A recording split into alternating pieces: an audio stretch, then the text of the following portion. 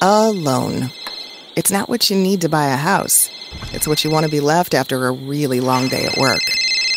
Get a bank that gets you. Farmington Bank. What are your terms?